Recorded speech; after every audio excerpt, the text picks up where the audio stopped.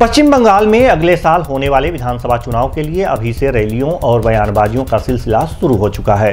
तृणमूल कांग्रेस छोड़कर हाल ही में बीजेपी में शामिल हुए पूर्व मंत्री शुभेंदु अधिकारी ने कहा है कि उन्होंने बीजेपी में शामिल होकर बिल्कुल सही किया और जनता ने इसे मंजूर किया है।